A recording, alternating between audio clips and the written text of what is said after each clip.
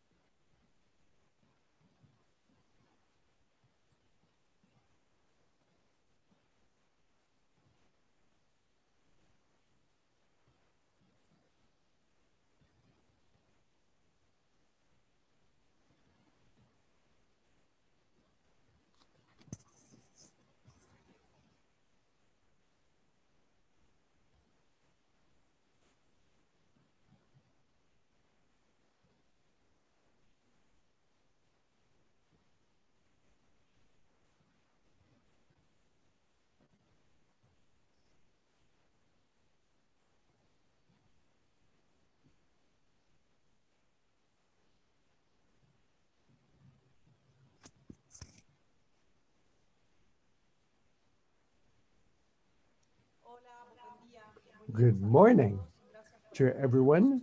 Thank you for accompanying us today in the first session of our webinars on the art market organized by UNESCO Montevideo with the National Heritage Commission. Thank you for coming.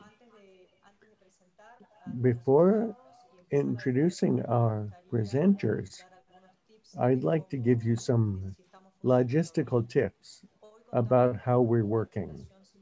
We have simultaneous interpretation from English to Spanish, from Spanish to English.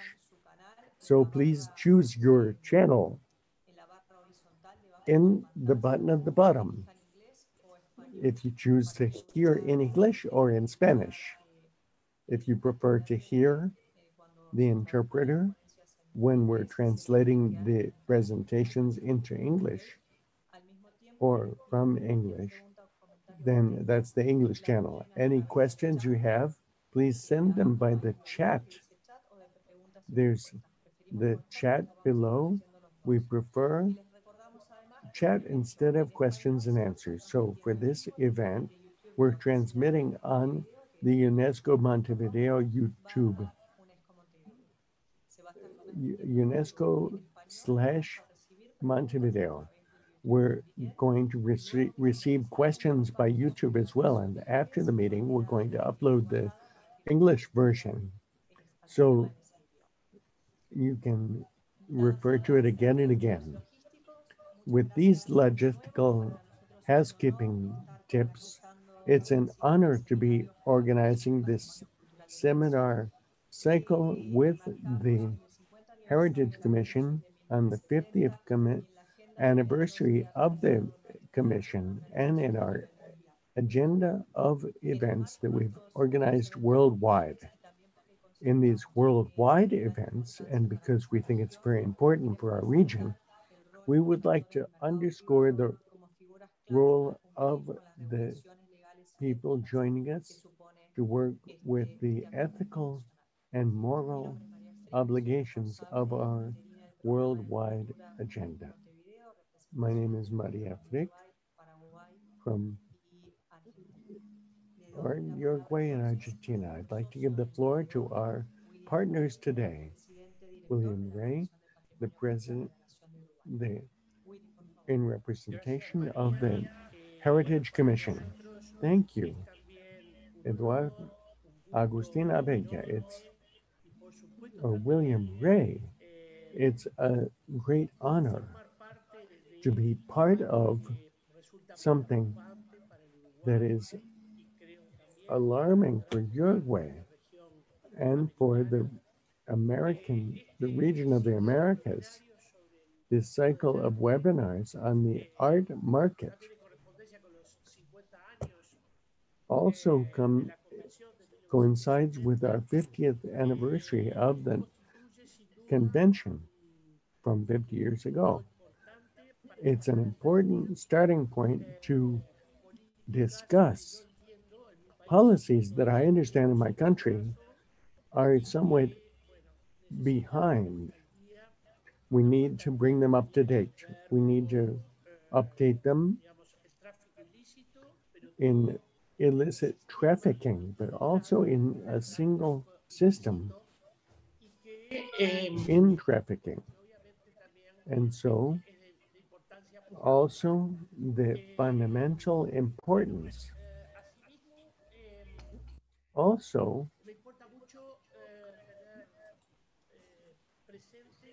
it's very important for me to keep in mind there are other topics that are satellite issues, such as the authenticity of our of our works. This is very close to the authenticity and falsifying, counterfeiting, because we write in this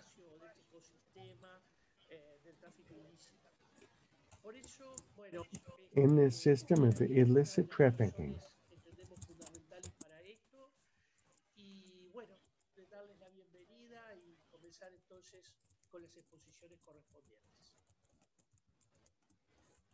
Muchas gracias, Willy.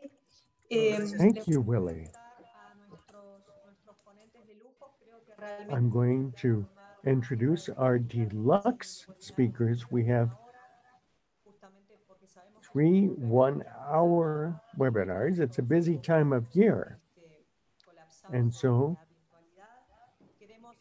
we're working virtually. We have very high level encounters with very high level.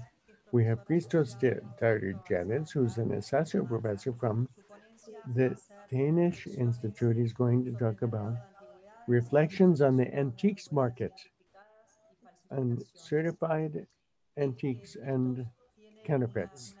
Christos has great experience in this area in international networks of trafficking in antiques with the certification of antiques in auctions, galleries, and private collections. He works with the uh, misconceptions that are the fooling in the market of he's an archaeologist, a judicial expert in the volume and tra trafficking in cultural goods in the market of illicit antiques published in 2019. Then Alessandro Chechi will be with us.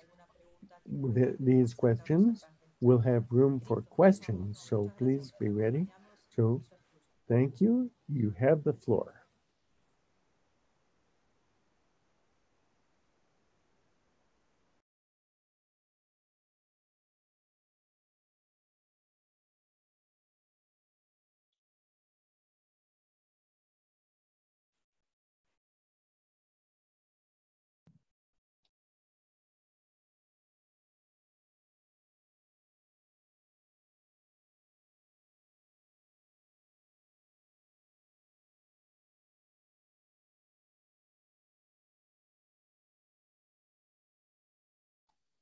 Me first unmute. Can you hear me now well? Yes, thank you. Wonderful. Thank you very much, Maria, and everyone who is uh, has invited us. I'm very honored to uh, present uh, uh cases of illicit antiquities looted and smuggled, and uh, some claimed and repatriated, but also fakes. These are recent cases um, that uh, appeared in the market. But also, in the end, I would like to, to make a connection with Latin, a Latin American country as an example of ongoing cooperation that can be easily be transferred as well to with actual practical examples to Uruguay. Mm-hmm.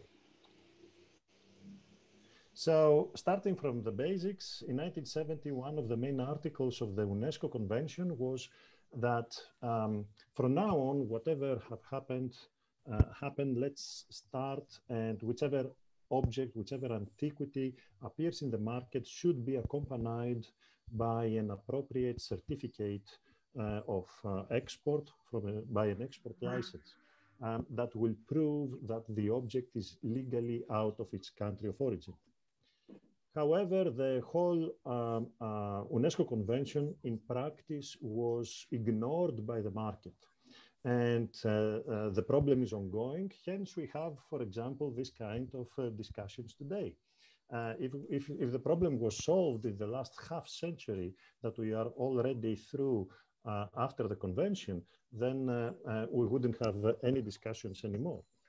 Um, it is indicative that even UNESCO itself, in its latest announcement, um, have stated clearly that um, in the last few decades, uh, the, uh, the, the, the, market have boomed in illicit antiquities, which indirectly, of course, is uh, an admission that the convention was ignored. Um, my research is uh, mainly based on, on one part on confiscated photographic and document archives from dealers that uh, used to uh, be the in, at the top of the illicit antiquities and antiquities market hierarchy, and they were considered to be reputable. After they were raided, examples here of Giacomo Medici uh, down at the uh, uh, right corner, Gianfranco Becchina here, uh, Robert Hecht on the top left corner, and uh, Robin Symes and Christos Michailidis um, at the top right corner. Um, the most uh, valuable uh, discovery by the mainly Swiss, Italian, and Greek authorities were not the tens of thousands of uh, antiquities that collectively were discovered in their premises, but um, uh, they were the photographic archives that uh, more or less each one of them had and became the valuable basis uh, for further research and understanding um, uh, as much as possible um, and get a fraction of the true nature of the antiquities market in a global level, not just on classical antiquities, not just on Greek, Roman antiquities, but antiquities from all over the world. Because, for example, especially the archive of Christos Michailidis and Robin Symes um, presents and contains antiquities from all ancient civilizations, all ancient cultures around the world. Hence the internationality of the illicit market. So you can see that objects were um, uh, gathered in Switzerland where they were uh, stored in warehouses, usually called free ports that uh, were enjoying certain uh, uh, customs freedom and so on. And then they were going throughout the world, examples only of identified illicit antiquities that they passed through Switzerland after they left their countries of origin uh, were found in the United States, in Japan, in uh, um, Australia, just to show the spread, the widespread of the internationality of the illicit antiquities uh, network. And um, just examples of the institutions that uh, they were found to acquire illicit antiquities are uh, the most famous museums all around the world. You can see the list, including the Metropolitan Museum of Art, the Boston Museum of Art Arts, the Getty Museum, but also university museums that were supposed to, be, to have higher ethical standards. And yet, Princeton University Museum of Art is just one example of the many. Uh, auction uh, houses like Bonhams uh, and Christie's and Sotheby's were found to handle illicit antiquities over the years, but also private collections um, and um, dealers' galleries. Um, but we are not treasure, treasure hunters. What we are actually doing, what I'm, I'm, doing in my research is starting from the object itself, I am um, searching and finding and reconstructing the true collecting history of an object, how it was trafficked, who participated in each level, what was the role of each one, um, where the money came, where the money possibly go, and how these people are connected with each other, case by case, creating a network in order to understand the wider image of the problem, to understand the problem itself, and therefore to know how to fight it effectively. That, in an even uh, um, more general way, was published, for example, in a research that I've done with my brother um, at an edited volume in, uh, by Oxford University Press that you can see here, The Connected Past, back in 2016. And we even proved that um, with uh, the cases that to just 94 cases that we examined, we ended up with a, a much more complicated and therefore more um, interesting uh, uh, um, network uh, in general on the way that antiquities are being trafficked internationally than the one that we knew until 1995, until um, these raids against these notorious and convicted now dealers, most of them, um, uh, started with Giacomo Medici in 1995. So I'm going to show you three projects that I'm working, examples of three projects uh, that I'm working on illicit antiquities, uh, two of them, and uh, on, uh, on fakes, another one, um, as examples of how I approach the problem and how I produce uh, active, actual results on this to fight actively the, the problem and not only in theory. So the first project is based on the photographic archives on the research that I showed you before, the, the, the, the, the research on the photographs themselves that have been confiscated from these dealers. Uh, tens of thousands of photographs um, uh, referring to all uh, ancient civilizations, as I told you before, a considerable part of them at least.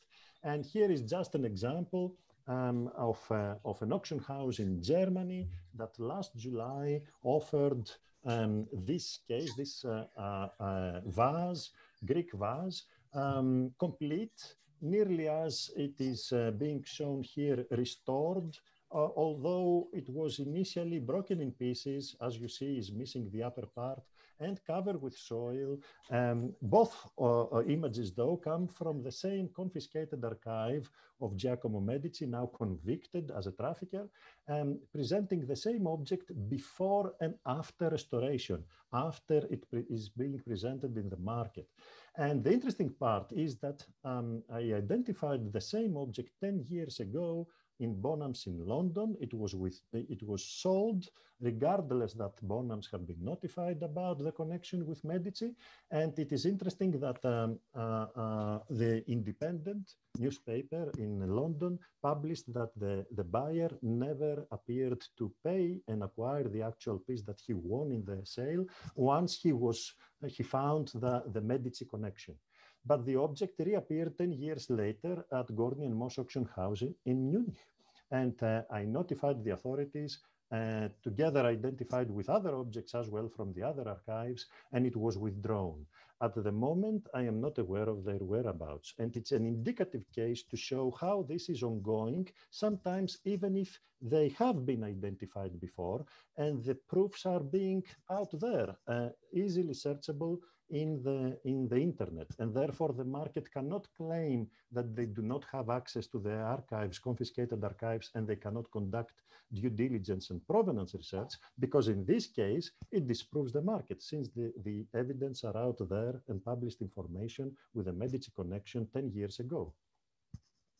The second project of mine refers to um, the research on illicit antiquities and any kind of problematic antiquities without needing to work on restricted material. So without working on the photographs, the confiscated photographs themselves. Instead, with this project, which I am now uh, creating a new method to approach it like that, I am creating the, the evidence themselves here at the Aarhus University Institute of Advanced Studies in Aarhus in Denmark. So an example to show you how I do this is this object 5th uh, century BC Greek vase that it was offered uh, by Christie's in London on April 15, 2015 as lot 93 with this provenance. As you can see, it's very general. It's an anonymous sale back in 1986 in the Münzen and Medaillen auction house. And formerly it was in a very, in general terms, uh, stated Japanese private collection anonymous again, and acquired privately again in an anonymous way in 1997. The object is not depicted in the confiscated archives, so there is no actual proof of illicit origin.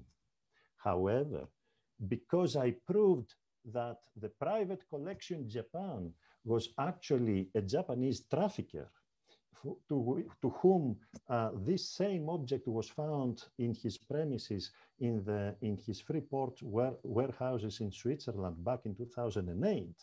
Um, and the, uh, also proved that the consignors were convicted dealers, the depicted here Aboutaam brothers, owners of the Phoenix Ancient Art Gallery with branches both in uh, uh, United States and Switzerland.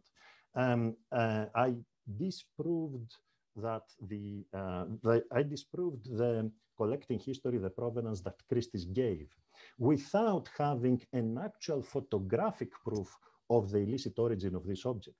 And that was enough when I published the case before the auction for Christie's to withdraw this object as well, um, making it the first ever antiquity that was withdrawn without an actual proof of illicit origin. And showing that this new method that I am developing, it actually works. It produces actual results without having the actual proofs that are still missing for this object. Together with this object, I identified in the same auction of the same auction uh, house at Christie's, three more objects, this time uh, depicted in the Becchina archive. And they were well as well withdrawn with this fourth one.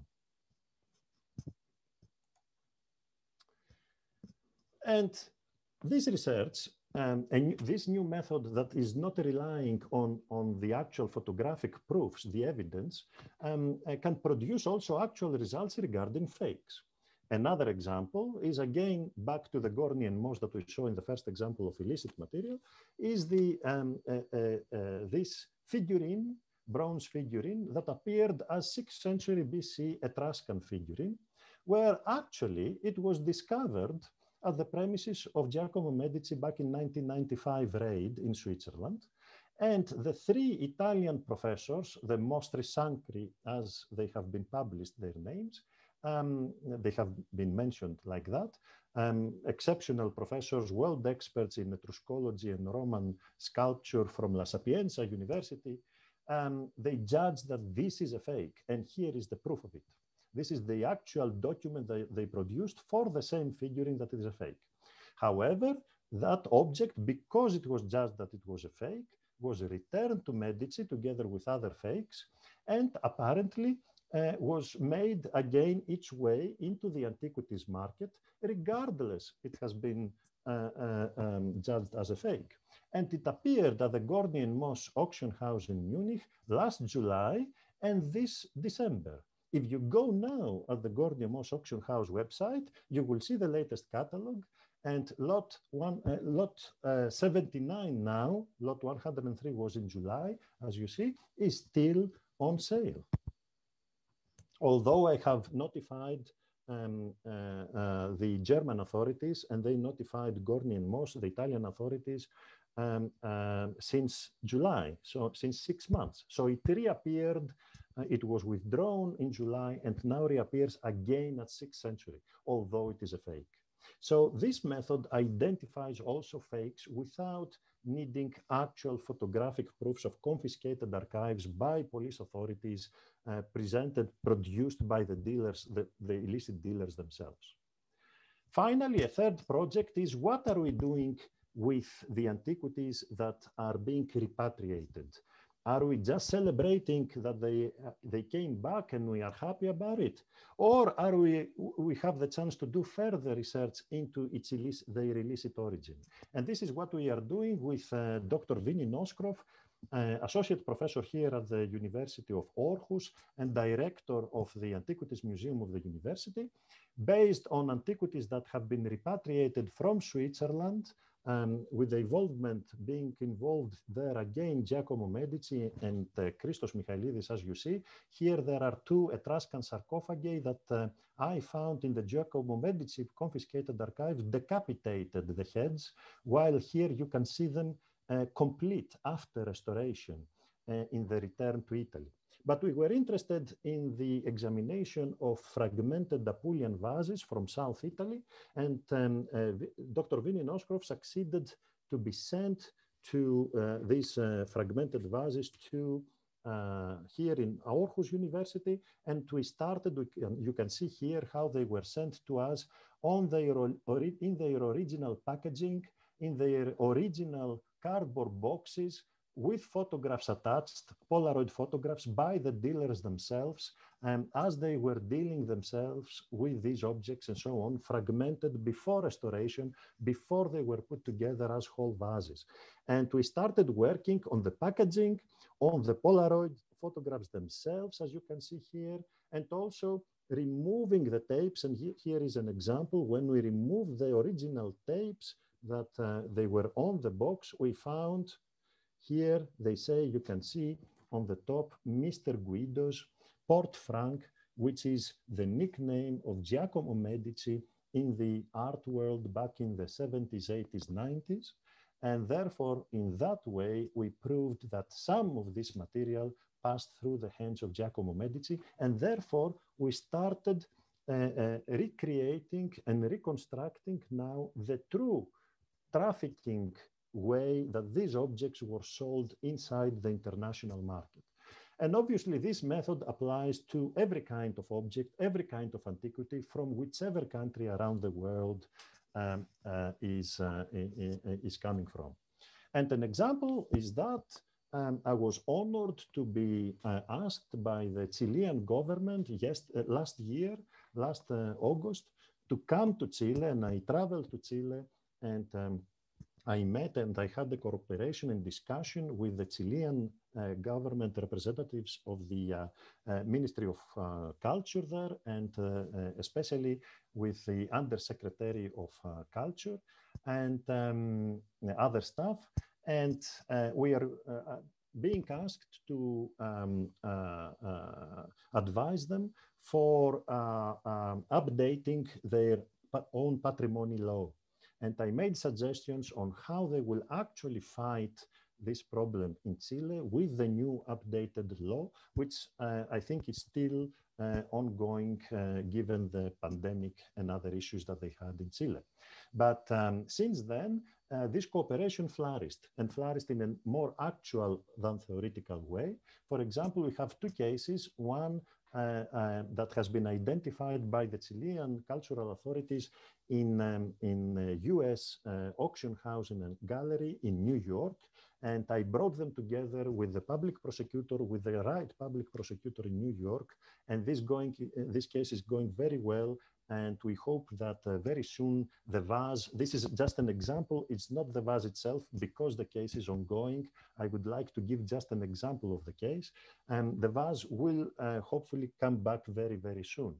The other case uh, appeared last October when uh, the police authorities in Chile's uh, national airport in Santiago stopped hundreds of Byzantine, Roman, and Greek ancient coins, uh, coming, of course, outside of Chile, because otherwise they couldn't have been excavated in Chile for obvious historical uh, archaeological reasons, uh, without any complete provenance and justified legally. And I helped them identifying the kind of the, the coins. And the case is also ongoing. This is again an example as a photograph, is not an actual photograph of the actual case. And hopefully this case will go very, very well uh, with the Chilean government and uh, get hold of the pieces under examination. Um, I wanted to, to thank you all. This is, uh, uh I, um, I'm definitely on time. And uh, I want you to know that this is my email address and whoever has any questions or extra questions after the ones, I will be very happy to reply to um, all of them. Um, is very welcome to write to me for any reason and uh, help in any way to fight collectively this problem. I showed you how actually you can do it in three different ways internationally. So thank you very much. And I pass the floor to our Maria Frick again, to our organizer. Thank you. Muchas gracias, Christos, y gracias por tan excelente. Thank you, Christos. Thank you for such a great overview, so up to date on your work. Thank you so much we'd like to tell you that we have people who are working in this area. We're happy to have them here from Uruguay, from Argentina as well, that are working on this And I'm sure that they will be commu- communicating with you to see what they can do together. Thank you. Now I'd like to introduce Alessandro Chechi. Alessandro is a senior researcher and a member of the, UNESCO chair at the University of Geneva. He wrote the book, The Solving International Controversies about International Heritage, and other publications and international journals about solving controversies, international immunities, and resolutions. Now, Alessandro is going to talk about the fight against illicit trafficking with criminal law and in Europe regarding infractions with cultural goods. Alejan- Alessandro, you have the floor. Um, sharing my presentation. Can you hear me right?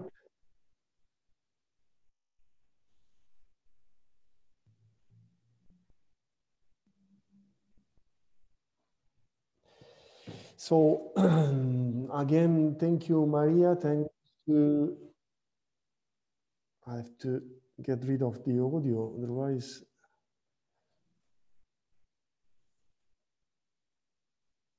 How can I stop the audio?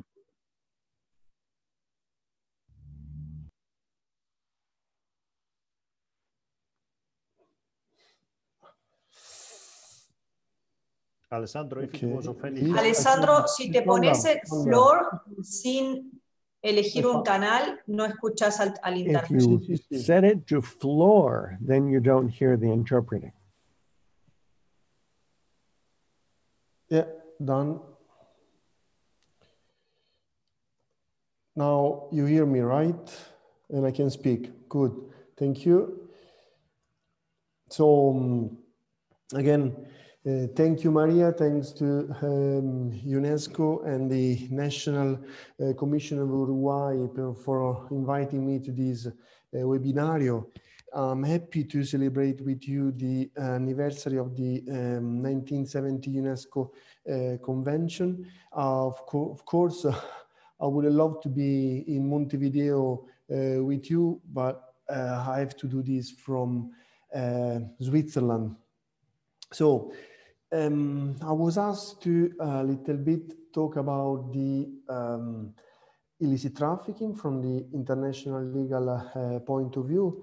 Uh, so what I'm going to do actually is to um, present uh, with um, uh, more details what uh, uh, the previous speaker uh, said about illicit trade. Uh, then I will look at this problem from the legal point of view uh, by presenting quickly, very quickly, um, um, some instruments that have been adopted at international level uh, to fight this uh, uh, problem.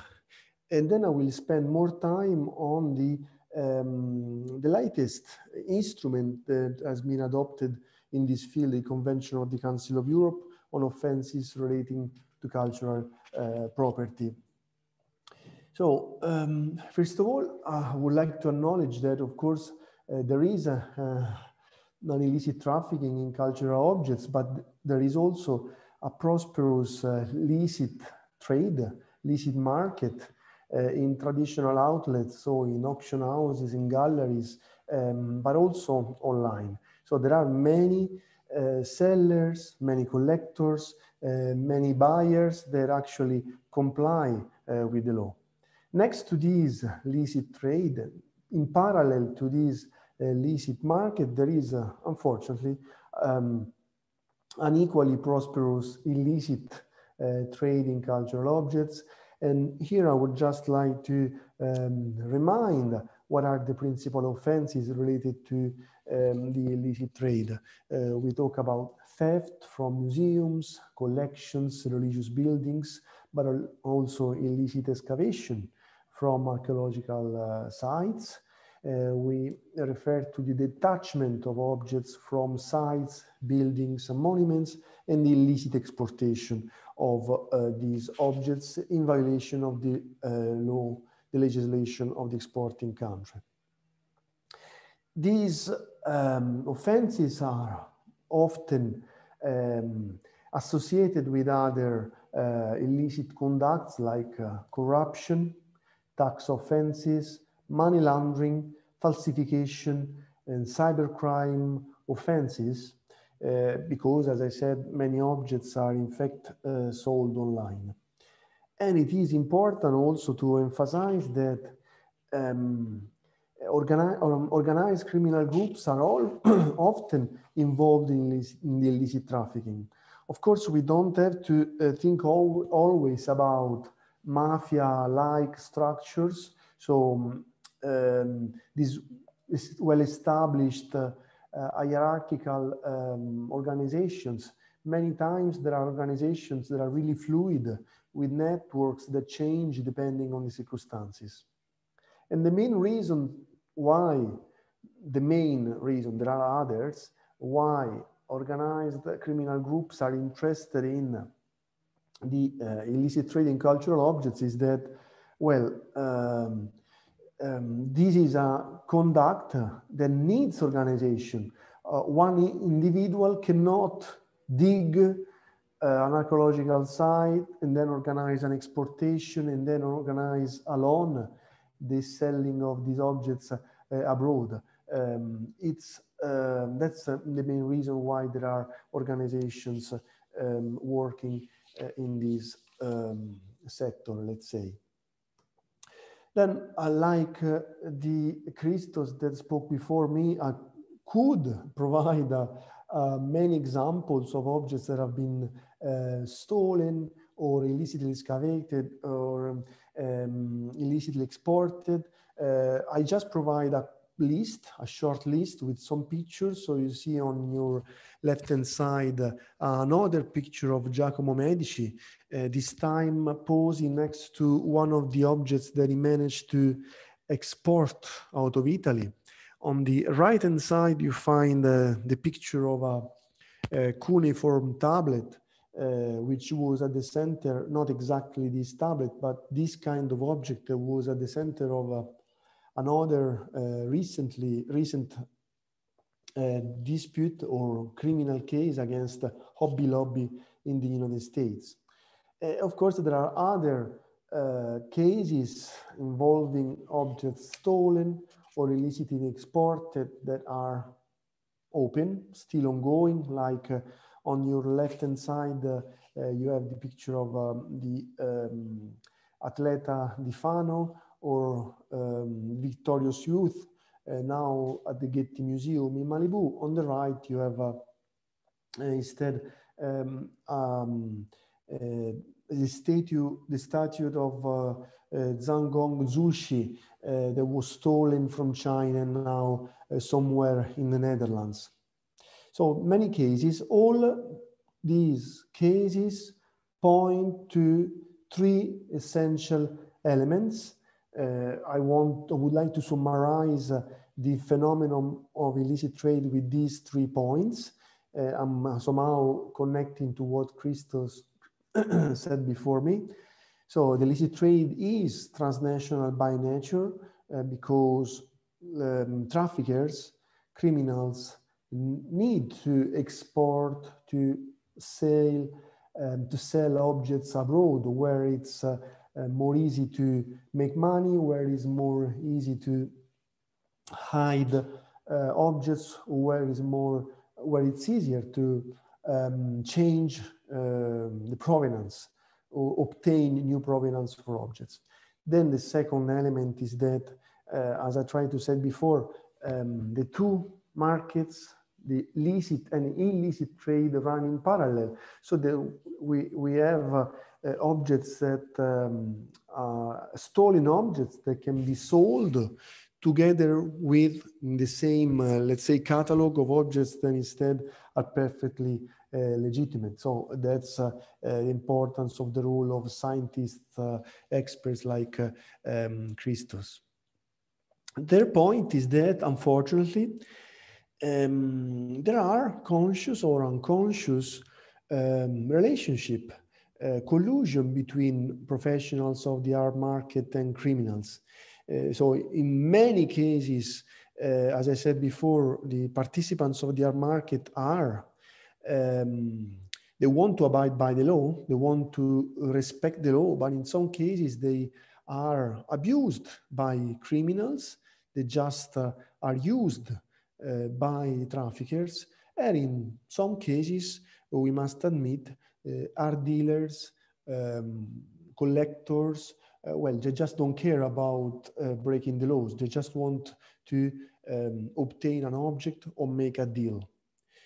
Uh, but again, I want to re-emphasize this point. I believe that most of those participating in the art market do want to uh, respect the law. So here, I'm not here to blame anyone.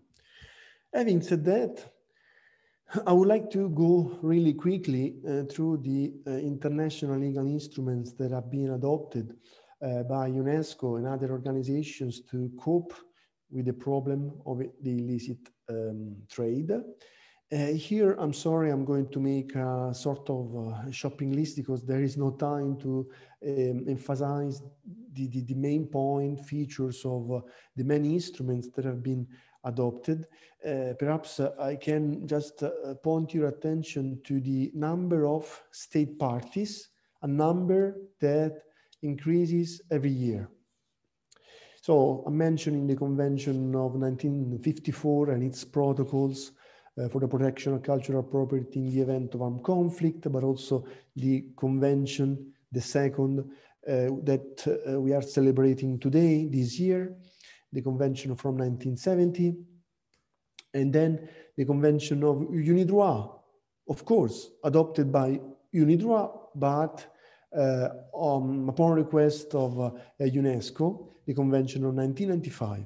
Then very important also for uh, the illicit trafficking, also the uh, Convention on the Underwater Cultural Heritage of 2001. Uh, then I would like to emphasize the role of the um, Convention Against Transnational Organized Crime, uh, which is a text uh, which should be um, taken into consideration because of course, it doesn't mention cultural property in the text, but uh, the organs uh, overlooking the implementation of this uh, convention have pointed out many times that this convention applies, could apply also to um, uh, the illicit trafficking, precisely in those situations where an organized group is um, working um, is uh, uh, diciamo, let's say organizing, uh, managing the trafficking uh, at the international level. And uh, the second point, the international guidelines, um, the second point on the slide, uh, well, it points to the fact that um, the UNODC, the, the body overlooking the implementation of this convention, has produced um, guidelines to help states to revise, if necessary, national legislation in order to actually use the uh, UN uh, Convention of 2000. So this is an instrument that must be taken into account. And then uh, I would like to pass quickly through the instruments adopted by uh, the European Union, the latest in uh, 2019 on the introduction and import of cultural goods. And then the conventions uh, uh, of the Council of Europe uh, from 1954 to the one on archaeological heritage of 1969, and then the latest convention, which is actually um, a sort of revision of another convention that was adopted in 1985. And I will focus uh, more on this in a few uh, moments. And then um, just a, a little uh, uh, a slide on a convention adopted in the American continent, uh, the convention from uh, the San Salvador Convention from 1976, which however has not been um, ratified by um, Uruguay. So this is a, a, sort of a quick, very quick uh, overview. I would like to summarize again by saying a few words These instruments aim to complement national laws. They focus on uh, cooperation between states.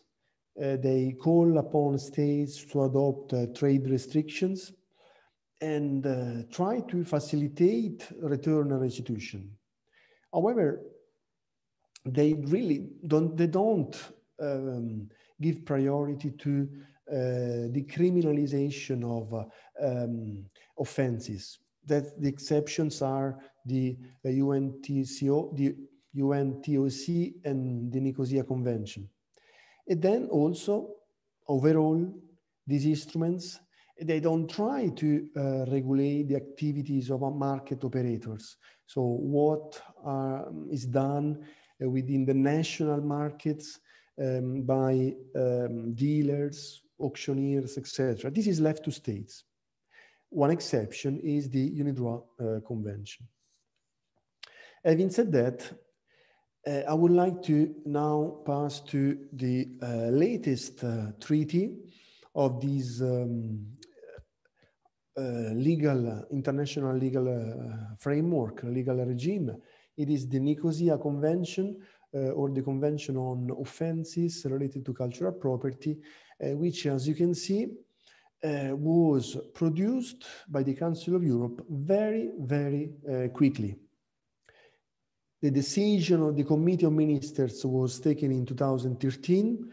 So in 2013, they decided that uh, these, uh, the convention from 1985, uh, the Delphi Convention, as I shown you before, uh, had to be um, revised, sorry.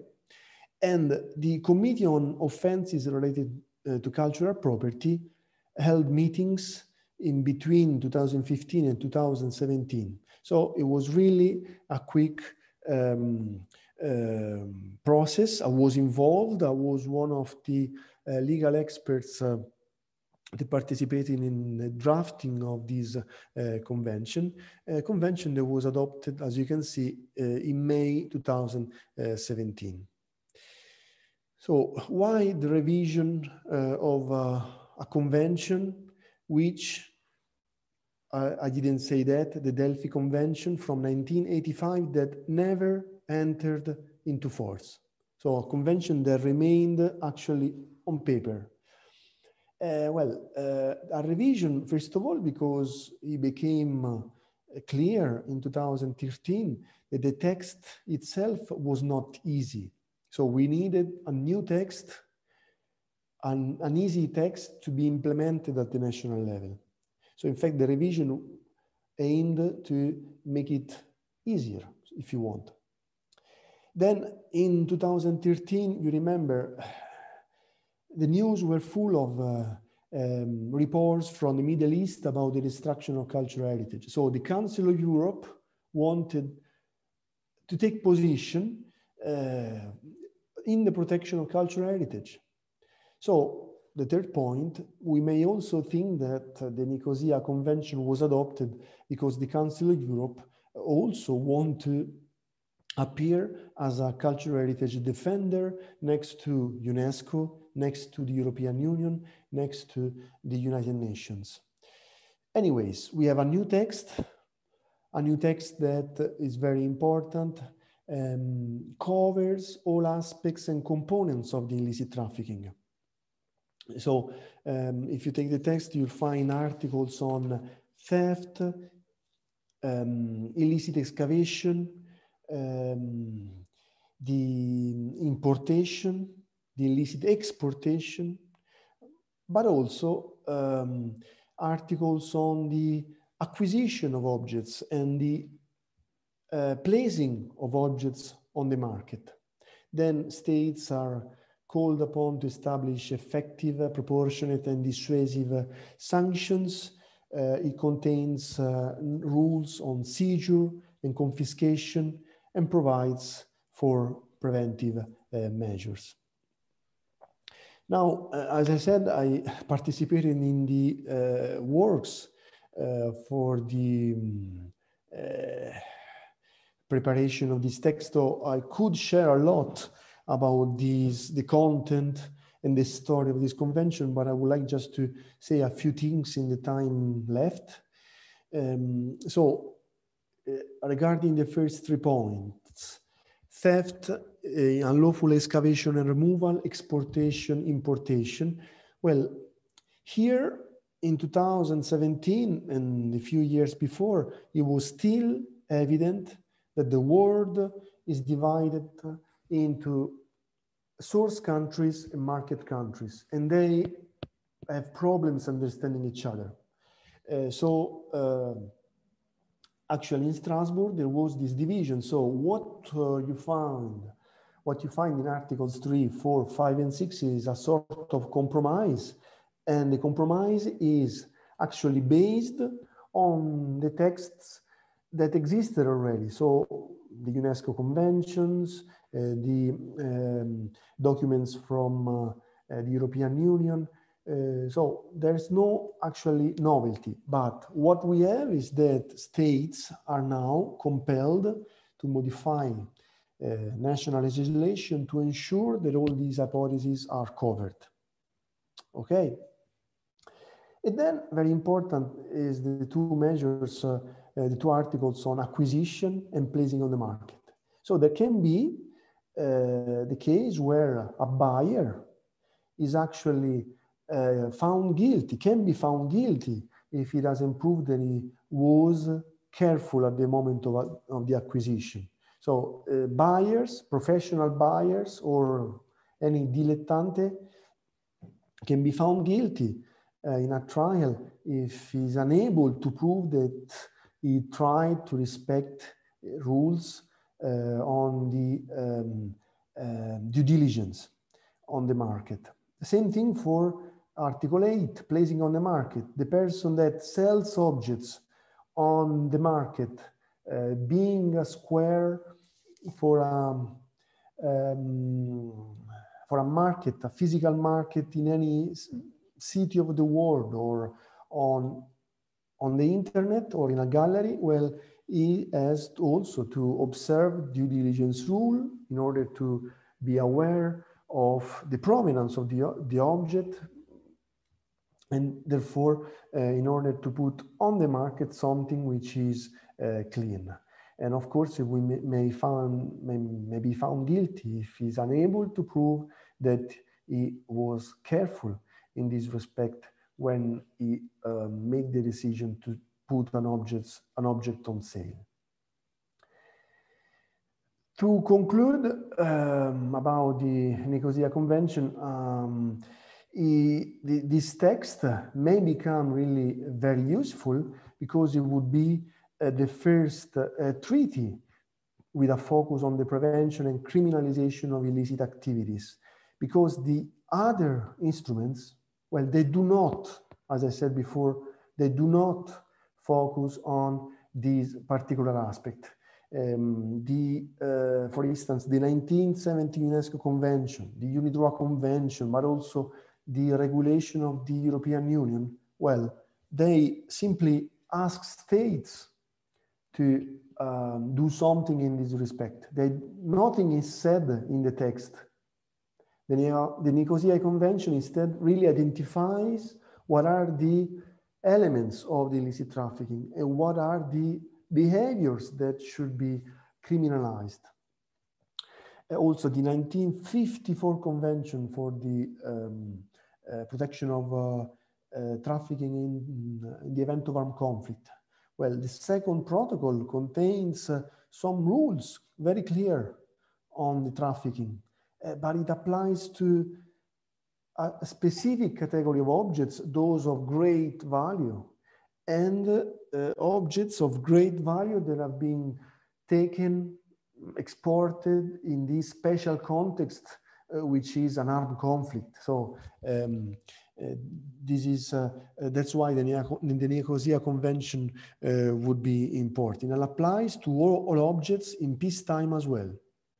And then, as you can see from the second point, the, the, this convention is also open to non-Council of Europe member states. In fact, one of the uh, first states to ratify was uh, Mexico. Um, of course, uh, and this is my last uh, uh, slide. Of course, uh, the text is not perfect. There are a few problems, probably because it was produced in only two years. So perhaps uh, there was not enough uh, reflection. Uh, but I think it's um, still a good product for all the reasons I mentioned before. So far has been ratified only by two states, Cyprus and Mexico. Others have signed, and I know that many others are working on the ratification. I just know that um, various problems, including especially the pandemic COVID-19 uh, blocked uh, the works towards ratification. And we need still a, a, few states to ratify, as you can see from Article 27 um, of the convention.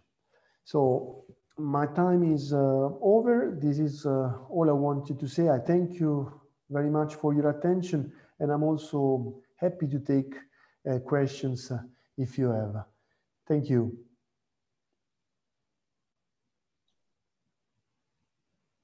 Muchas gracias, Alessandro. Creo Thank you, Alessandro. I think today we've been discussing very important topics. Thank you, Christos, again for what you've opened about traceability. And thank you, Alessandro, for touching on this topic that's so important for the region and for Uruguay. And locally important. We have a few minutes.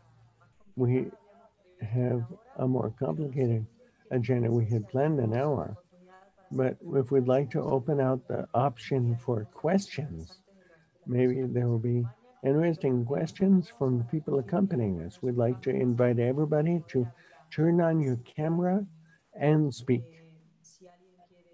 So if anybody would like to, Willie, do you have a question, a reflection first? Can you hear me? Sure, I wanted to ask a question. Perhaps this is a legal issue for Alessandro. Which is the difference exactly between sign and ratification uh, the Nicosia Convention? The, the difference between uh, both. Okay, he's asking the difference between signing and ratification.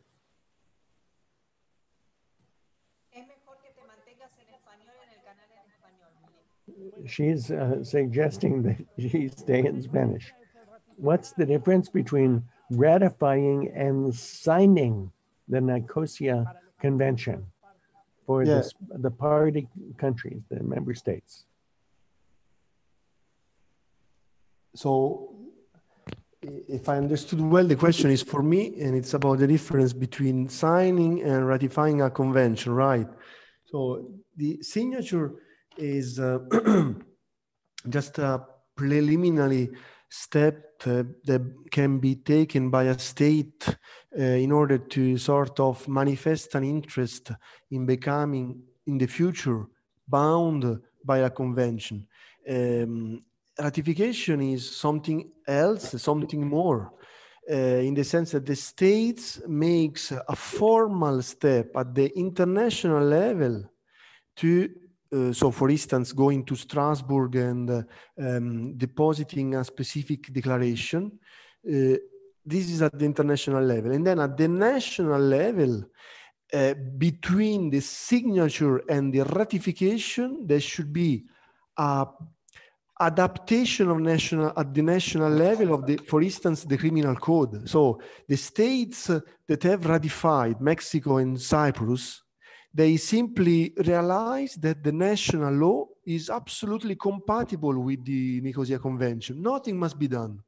The other states, like Italy, for instance, they has to be do, they had to modify. I don't know exactly what particular article of the criminal code to avoid a clash, a conflict between the convention and national legislation. So if, if there are uh, also obligations from signature.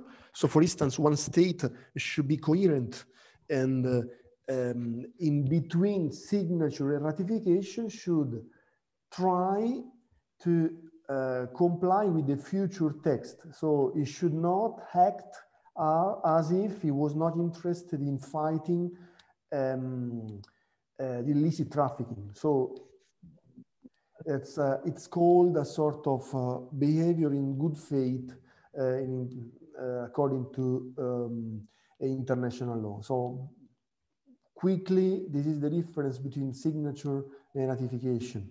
That's why many states signed, but still haven't ratified. Hopefully this is sufficient to respond to your question. Eh, me permito leer, eh, Claudia, Claudia Cabuli es la primera eh, pregunta que tengo. If I may, we have a question from Claudia. Would you like to ask it yourself? Presentate, por favor, para el resto, para los- Please introduce yourself to the rest of the panelists. I'm Claudia Cobule. I'm the National Director of Cultural Sites and Goods in Argentina. I'm coordinating the fight against illicit traffic in cultural goods since this was created in 2003, 17 years ago. My question is for Dr. Chechi is I'd like to know what is the penalization in the Nicosia Convention for the crimes that it mentions? What is the criminalization? Uh, for your question, well, in uh, I uh, I would like uh, uh, to share the text. Perhaps is not uh, pertinent here, but what we have, what we have in the convention is simply an obligation for the states to um, modify the criminal code um, in order to um, cover certain hypotheses.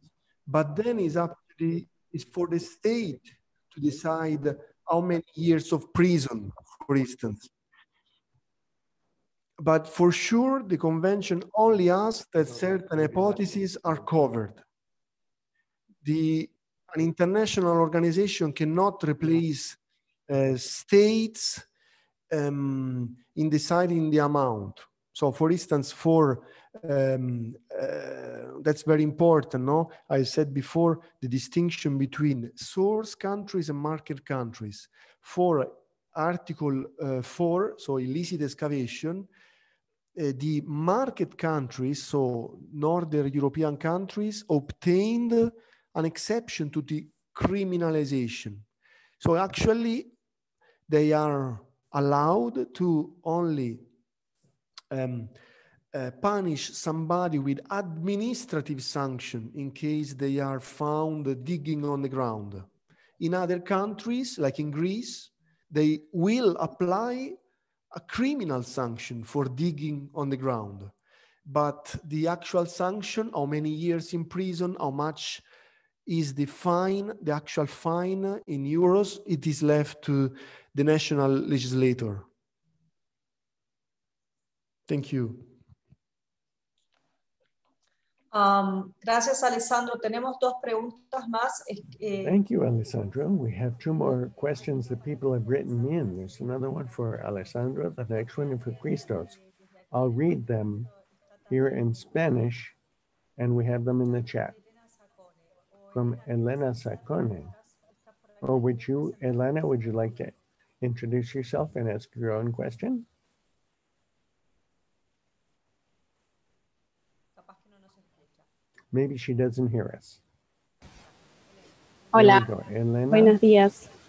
Eh, Good mi nombre es morning. Elena My Sacone, name soy is miembro de la Elena Comisión Sacone. Directiva de I'm a ARCO, la member of the Asociación de Arqueólogos de Uruguay, ARCO, y he the trabajado mucho Uruguayan en arqueología Archaeological subacuática. Commission. We worked a lot about Eh, me interesaba preguntarle al underwater doctor Chechi archaeology. Si I'd like to ask Uruguay se considera Dr. un Chechi source if country, Uruguay is un- considered un a país source country. fuente, digamos.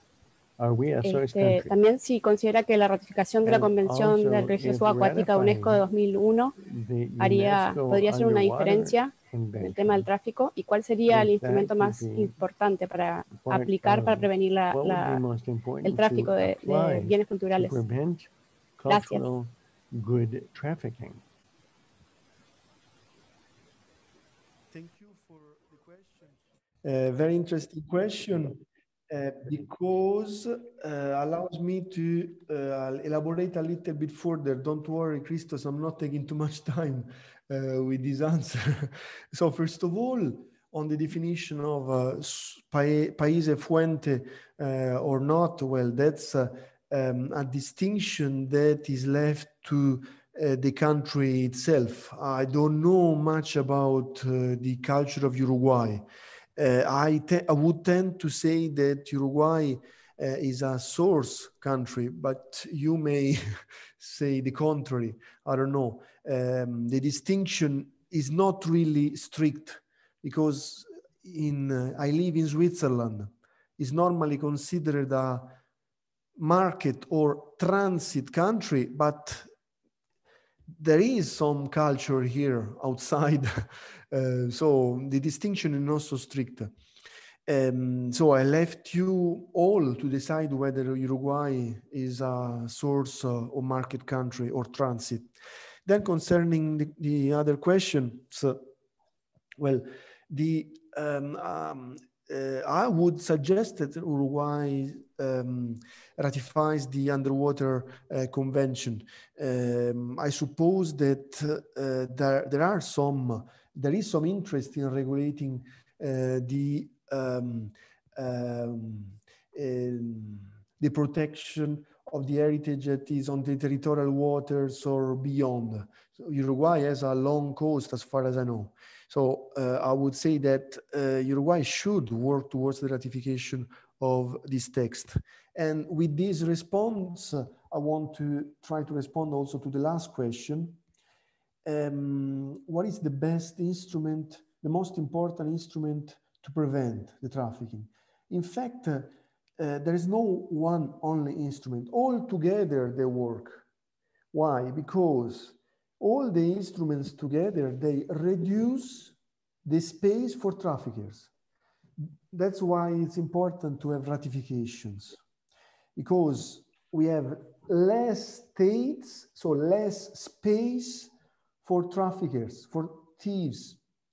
Uh, so if Uruguay and all, all other Amer Latin American countries ratify um, uh, existing treaties, then uh, life will be will become really hard for those that thought like Medici of exporting cultural objects. So um, that's why we talk about this framework. These instruments work together to prevent the trafficking because they, they serve to reduce the space for um, those that want to make illicit deals, like hiding objects or um, changing the provenance, the, of the title of uh, objects.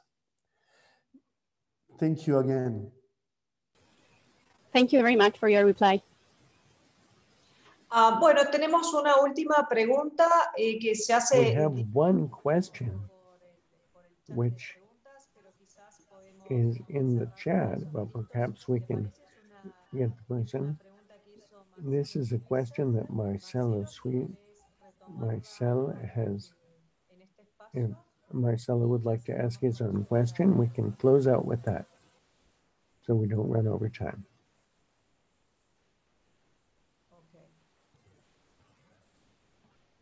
Marcelo? Marcelo? Okay, Marcelo is asking Christos about making duplicates. I don't want to read the whole exchange because he went on and on.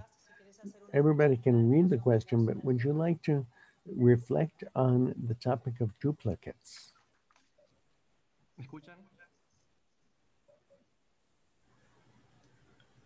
Hola, buen día.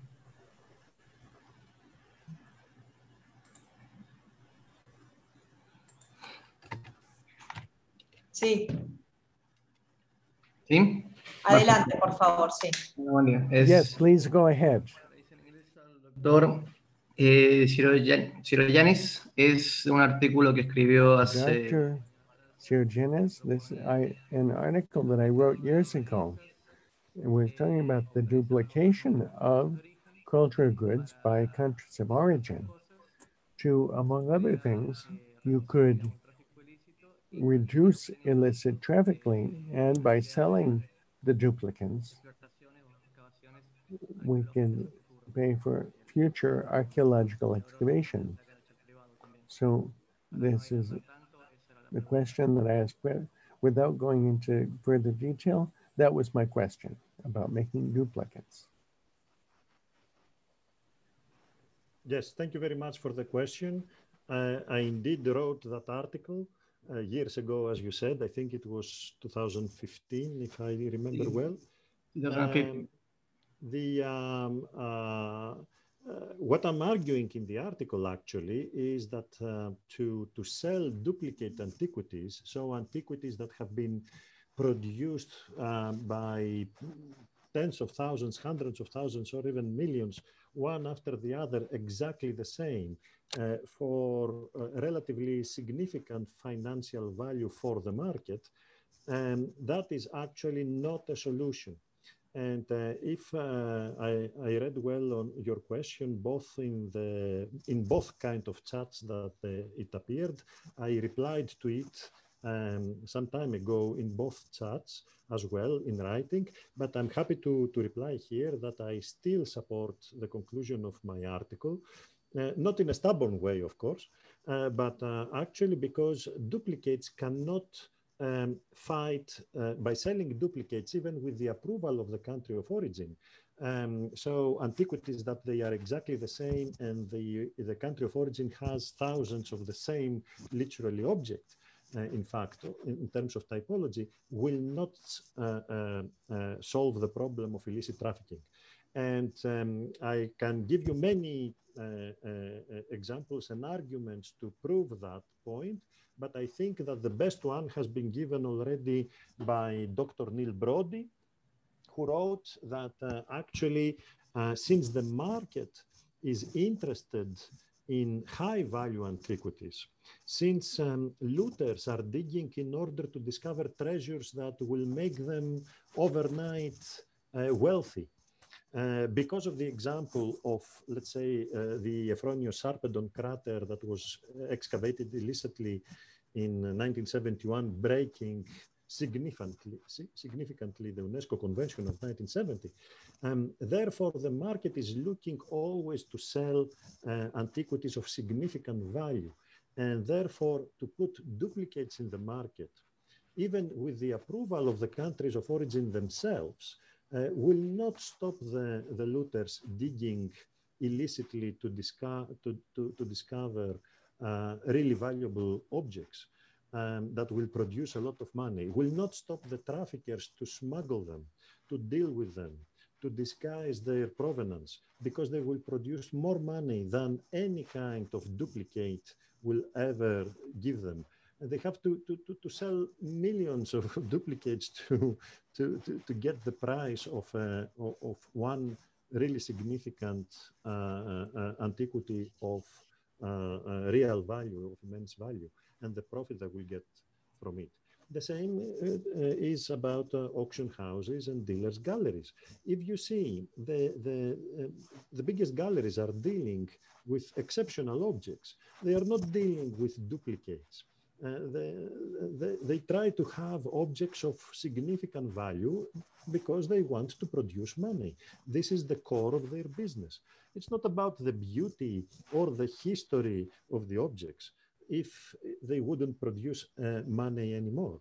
No one will dig in the night if there was someone to acquire it for a substantial amount of money. And this cannot be served by duplicates. So as I wrote already twice in both kind of chats that they were provided, uh, uh, unfortunately, my, my, uh, the conclusion of my article back then is still uh, it has been proved already long time ago and it's still being proved. Um, there are countries, as you say, that uh, they they give uh, approval uh, with their approval to sell duplicates. I think Israel is one of them, if I'm not mistaken, if I remember uh, correctly. Uh, but looting um, is ongoing.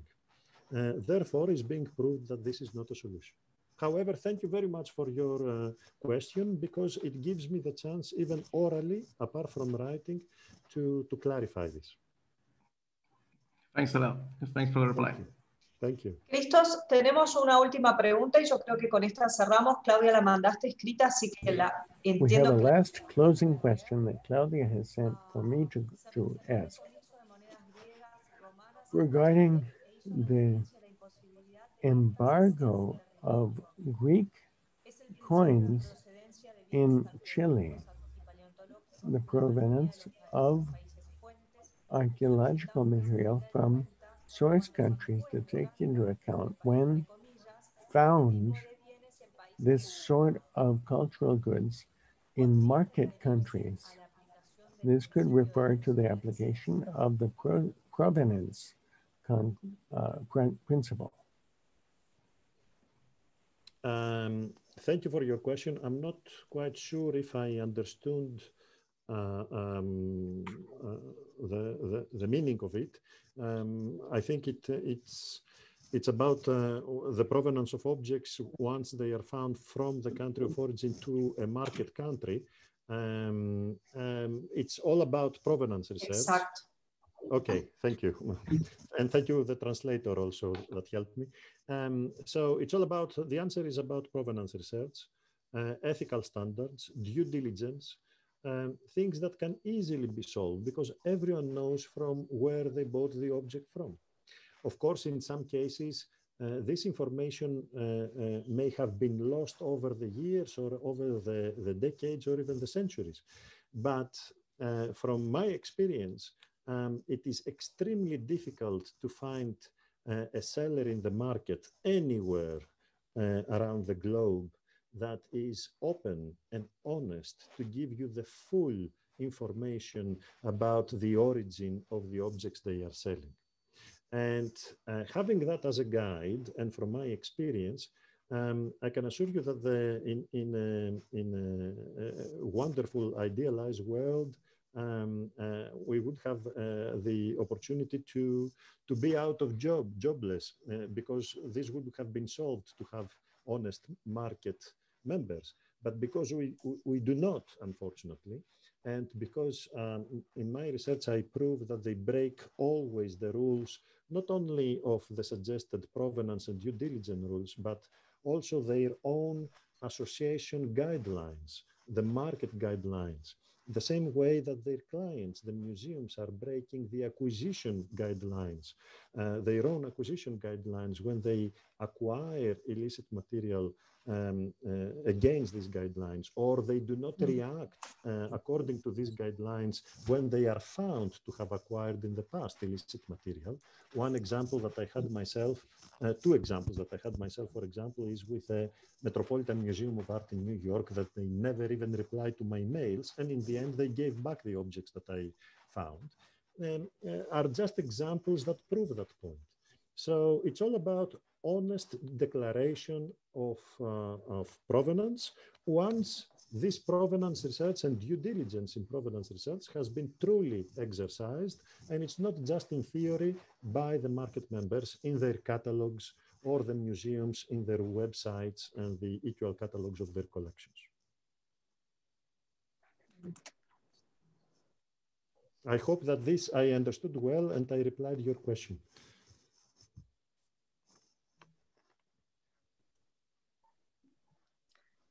Eh, creo que sí. Bueno, mañana I think so.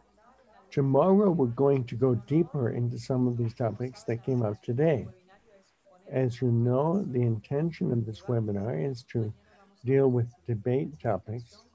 We're going to talk about classification with Marcelo from the Commission from Argentina and other people who are present here today from the University of Geneva about some bio diligent due diligence kits developed under the responsible art market.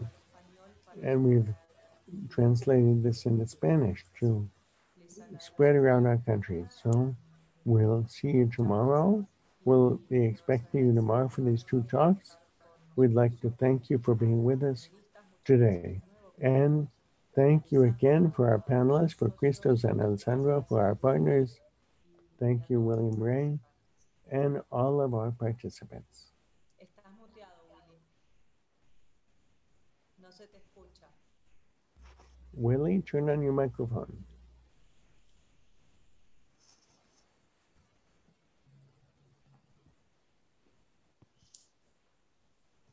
No, simplemente estaba agradeciendo. I was just thanking you and, of course, Alessandro and Christos for your magnificent presentations. So we'll see you tomorrow. Thank you very much. Thank you for the questions. Thank you for being with us. Thank you all.